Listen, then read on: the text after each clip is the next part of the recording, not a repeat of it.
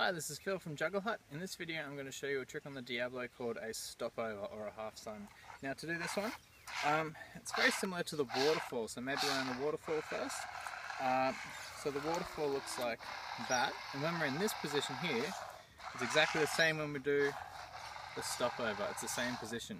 So for this one, instead of going over with the stick like I do with the waterfall, I'm going to make the Diabolo swing up over the top of my left stick and I catch it back on the string in the middle.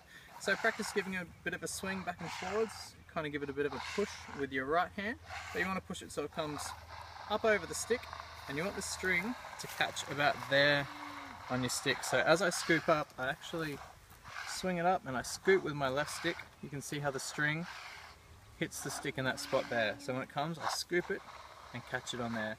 Make sure you don't swing the Diabolo in front of that string so you really want the Diabolo to come over the stick about here and scoop that so it lands back on that string in the middle. When you do catch it, bring your sticks together and then back out and around to get out of it. So same thing with the with the waterfall, you can do a double stop over and back out and try it on the other side and mix that up there.